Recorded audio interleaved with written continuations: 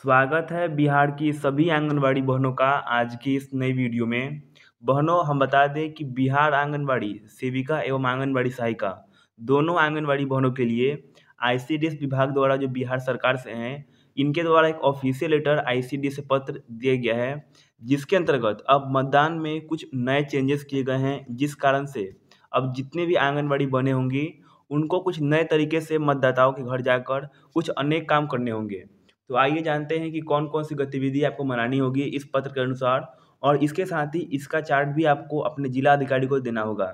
Video बहुत ही महत्वपूर्ण और इन्फॉर्मेटिव है तो इस वीडियो को अंत तक देखें और इस वीडियो को देखने के साथ ही साथ आप इस वीडियो को शेयर भी करें ताकि सभी आंगनबाड़ी बहनों को जानकारी मिल सके। वीडियो को शुरू करने से पहले एक रिक्वेस्ट है, आप इस वीडियो को लाइक करें, साथ ही कमेंट ज़रूर कीजिएगा कि आपको ये वीडियो कैसी लगी। सबसे पहले हम बता दें कि जो पत्र है, जो ऑफिशियल लेटर है, यह बिहार के ज़िले छपरा ज़िले यानी सारण ज़िले से निकल के आ रही है, जिसमें लोकसभा आम निर्वाचन, जो आपका वोटिंग होने वाला है, मतदान होने वाला है, उसके संबंध में है।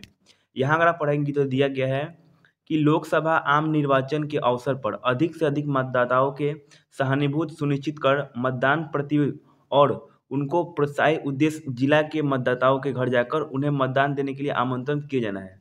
यानी अब जो आंगनबाड़ी बहनें हैं या जो कर्मी हैं, जो सरकारी कर्मी हैं, जीविका हैं, आंगनबाड़ी सेविका है, आशा बहनें हैं, इन सभी के द्वारा इस मतदान के अवसर पे सभी मतदाताओं के घर, यानी जितने भी आम घर हैं, वहाँ पे जाके उनको प्रेरित करना है कि आप वोट दें, आप मतदान करें। इसके बाद दिया गया है कि एतवत कलम में दिए गए पंचायत की जीविका दीदी, आशा एवं जो आंगनबाड़ी सेविका कर्मी द्वारा किए जाना है। यानी जो गतिविधियाँ हैं, ये सिर्फ़ आंगनबाड़ी बहनें नहीं, इसमें जीविका दीदी तथा जो आशा कर्मी हैं, ये भी मदद करेंगे। दिया गया है, प्रतिनिधि कर्मी दिनांक तीन पाँच दो चौबीस से संबंधित वार्ड में एक एक घर में व्यक्तिगत रूप से जाकर मतदाताओं को, यानी जो वोट देने वाले हैं, उनको मतदाताओं कहते हैं, मतदाताओं को मतदान करने हेतु आमंत्रण करेंगे। तथा दिए गए पत्र में आवश्यक सूचना की प्रविष्टि कर कर गृह स्वामी हस्ताक्षर प्राप्त करेंगे एवं पंचायत की अधिक नोडल पदाधिकारी को यहाँ पे सौंप देंगे। यहाँ पे इस वीडियो के बाद हम आपको एक पत्र दिखाएँगे जिसके अनुसार ही आपको यहाँ पे जो गृह स्वामी यानी जो घर के मालिक है, उनका हस्ताक्षर लेना है, उनके घर में कितने मतदाता हैं, अभी उनके घर में कितने प्रेजेंट में हैं और उनके फैमिली में कितने हैं, इसके बारे में आपको यहाँ पे बताया जाएगा। तो आपको इस प्रकार का जो पत्र है, आपको भी जल्दी मिल जाएगा, जिसके अनुसार आप भी अपने ज़िले में ऐसे काम कर सकेंगे। यहाँ देखिए लिखा गया है, उक्त आमंत्रण अभियान की मॉनिटरिंग एवं दैनिक प्रतिवादन हेतु पंचायतवार नोडल पदाधिकारियों के पास प्रतिवेदन करेंगे। नोडल पदाधिकारी द्वारा दायित्व होगा कि वार्डेड प्रतिनिधि एवं कर्मियों के बीच समानुपाति रुक्त रूप से वार्ड में घरों का बंटवारा करेंगे, साथ ही प्रतिदिन सभी वार्ड में संकलन वहीं पत्र को प्रतिवादन कर ज़िले में सौंपीकरण करेंगे। यहाँ पे इस प्रकार का जो पत्र है दिया गया है, जिसमें हम बता दें कि करना क्या है, जो आंगनबाड़ी बहनें होंगी या जो आशा कर्मी होंगी, इनके इन सभी आंगनबाड़ी बहनों को, इन कर्मियों को एक पत्र दिया जाएगा, जिसको हम दिखा दे रहे हैं, लेकिन उससे पहले आप समझ लीजिए उसमें करना क्या होगा। उस पत्र के अनुसार ही आप सभी आंगनबाड़ी बहनें उस लाभार्थी के घर या उस मतदाता के घर जाएँगी, जो मतदान देंगे, क्योंकि आप सभी को पता है कि हर मतदान में आंगनबाड़ी बहनों को कुछ ना कुछ काम दिया जाता है। तो फिर से इसी प्रकार से आपको काम मिलेगा और इसके अंतर्गत आपको करना ये है कि जितने भी मतदाता हैं, जो वोट देने के लिए सक्षम हैं, जिनकी उम्र 18 से ज़्यादा या 18 प्लस हैं तो ये सभी जो मतदाता होंगे, उनको वोट देने के लिए जागरूक करेंगे, आंगनबाड़ी बने। इसके लिए भी आगे पत्र जारी किया जाएगा किस प्रकार से जागरूक करना है, या आप सभी के कार्यालय मीटिंग में रखी जा सकती है, जिसमें आपको बताया जाएगा। तो चलिए हम देख लेते हैं कि वह पत्र किस प्रकार से दिया गया है और इसमें कौन कौन सी बातों को आपको भरना है कौन कौन सी गतिविधियाँ हैं या कौन कौन सवाल है जिसको आपको पूछना पड़ेगा। देखिए इस प्रकार का जो आपको पत्र है दिया जाएगा जो यहाँ पे आप पढ़ भी सकती हैं कि लोकसभा निर्वाचन दो हज़ार चौबीस यानी लोकसभा के अंतर्गत इस पत्र को दिया गया है मतदान आमंत्रण हेतु गृह भ्रमण संबंधित प्रतिवादन।